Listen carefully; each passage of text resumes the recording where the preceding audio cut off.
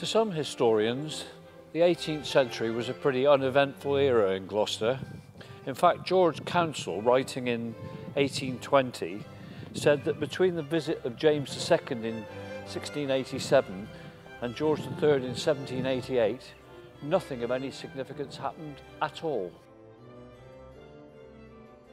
Despite this relatively uneventful period, this small city steeped in history had an unusually significant impact upon the history of the modern United States. In a relatively short period of time between 1714 and 1750, within a 500 metre radius of this magnificent Gloucester Cathedral, three individuals were born who would go on to have a significant impact on American history. So life was pretty good for the aristocracy and Gloucester was becoming a social centre. The rich in the winter season would come to Gloucester for concerts and plays and many of these were put on in the Bell Hotel in Southgate Street and this is where our story begins.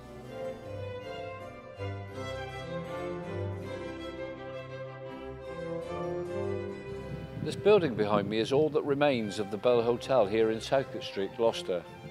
And this once glorious establishment used to stretch much further along the street. And in 1714, George Whitefield was born here because his father was the landlord of this fine establishment. Although largely forgotten today, George Whitefield probably became the most famous person of the 18th century, both in Britain and in America. He was a preacher who, with such a resounding voice, could command the attention of thousands of people at the same time, in the open air. As a young boy, George Whitefield attended the Crypt School here in Southgate Street, in its original site in Gloucester. In fact, as a young boy, he used to read plays insatiably and would often skip school just to practice his performances. Later in life, this theatrical character with the resounding voice went on to use his skills in his preaching. And in fact, he preached his first sermon here in St Mary de Crypt, right next door. As a teenager, Whitefield attended Pembroke College, Oxford, where he fell in with a group of Methodists called the Holy Club. They were led by some brothers called John and Charles Wesley, and under their tutelage he became quite a prolific preacher. His preaching style was unorthodox, but charismatic, and because of this the church refused him permission to preach in their pulpits. So he began to preach outdoors, and he toured the length and breadth of Britain and Ireland, gaining quite a notoriety as a very loud speaker. He's recorded as having given a sermon out here on Stonehouse Green to a crowd of over 5,000 people.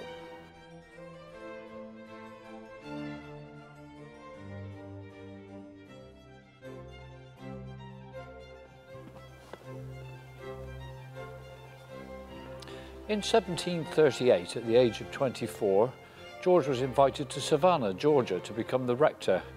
It was to be his first of seven visits to America over the next 32 years. One of his major achievements in Savannah was the founding of the Bethesda Orphanage, the equivalent of Dr. Barnardo's in Britain and still running to this day. He also became great friends with Benjamin Franklin and they co-founded Pennsylvania State University. And through his great popularity in America, Whitefield was able to raise enough funds to restock Harvard University Library when it burnt down in 1764.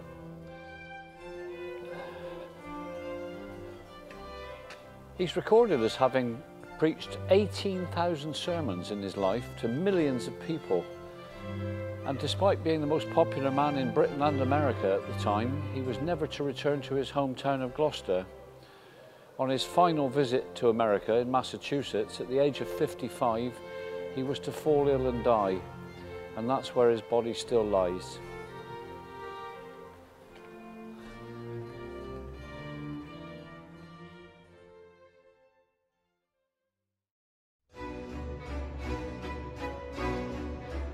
This is the 8th century St Oswald's Priory, burial place of Queen Ethelflaed.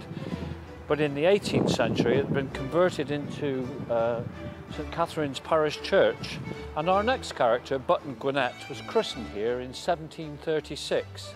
His father was the vicar of a parish and went on to become the vicar of Downhatherley Church just north of Gloucester, where his family tomb still stands to this day.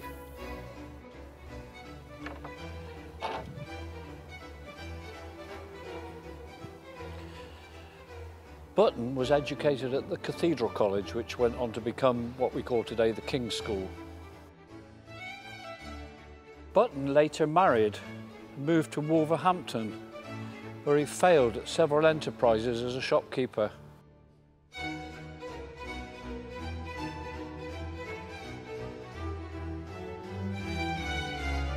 Button then thought that he would try his luck in America, so he made his way via Jamaica to Savannah in Georgia, where he attempted to run a plantation on an unsuitable piece of land for which he had borrowed heavily. This failed along with other business ventures, but by this time Button had taken an interest in politics and got himself elected as governor of Georgia. It was at this time that Button's path crossed that of a man called Lachlan McIntosh, who, funnily enough, had a, a link with Gloucester. He was a beneficiary of George Whitefield's Bethesda Orphanage.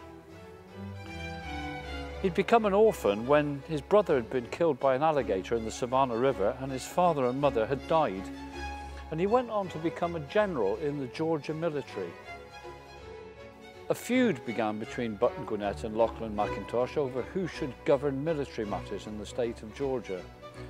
At the time, Florida was part of the Spanish Empire and as governor, Button Gwinnett ordered an invasion of the state. McIntosh led the force but it failed spectacularly and they both blamed one another. In the meantime, as governor, Button Gwinnett had travelled to Philadelphia with other delegates and as he was fiercely in favour of America breaking away from Britain, he was the second person to sign the American Declaration of Independence. His signature is now one of the most sought after as a collector's item. So when Button Gwinnett returned to Savannah, he lost popularity because of his public argument with Lachlan McIntosh. And he lost his seat as governor. And Lachlan McIntosh accused him of being a lying scoundrel. So Button Gwinnett challenged him to a duel. And on the 13th of May 1777, they faced each other and shot each other in the leg. But whilst Lachlan McIntosh survived, Button Gwinnett died three days later from gangrene.